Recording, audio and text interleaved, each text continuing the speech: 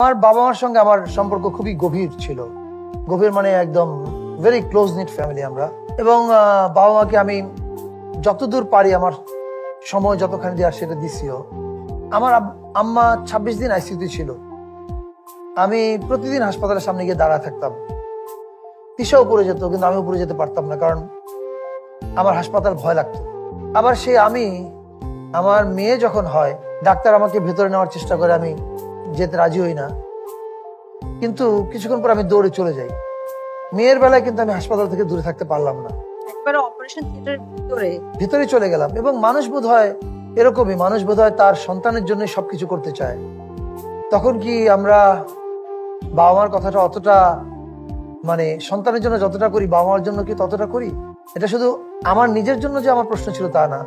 হয়তো আমার আব্বা আম্মাও একই অবস্থার মধ্যে গেছে। আমার আব্বা আম্মা হয়তো আমাদের জন্য যতটা করতো, ততটা কি তার আব্বা আম্মার জন্য করতো? আমি জানি না, মানুষের স্নেহ বোধ নিচের দিকে যায়।